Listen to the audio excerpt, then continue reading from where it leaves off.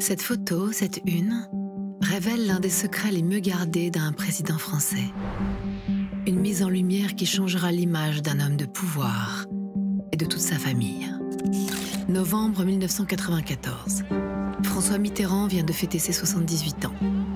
Son second mandat est perturbé par des déconvenus politiques et par la maladie. Bientôt sa vie personnelle va basculer. Le livre du journaliste Philippe Alexandre, qui révélera aux Français l'existence d'une fille cachée, s'apprête à paraître. La jeune fille s'appelle Mazarine. Elle est née il y a tout juste 20 ans de l'histoire d'amour adultère de François Mitterrand et d'Anne Pinjot, une historienne de l'art. Les deux amants ont plus de 20 ans d'écart, mais leur passion durera jusqu'à la mort du chef de l'État. Plus son cancer avance, plus François Mitterrand implique sa fille dans sa fonction présidentielle. Mazarine l'accompagne partout, même lors des déplacements et de cérémonies officielles. Anne Pinjot sera pour lui jusqu'à la fin un soutien indéfectible, tout comme Daniel Mitterrand, qui accepte d'accueillir les deux femmes.